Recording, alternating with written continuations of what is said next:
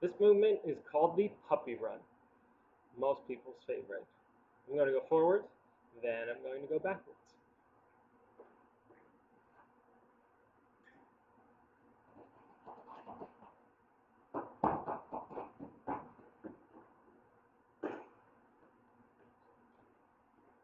Be safe with that one. Have fun.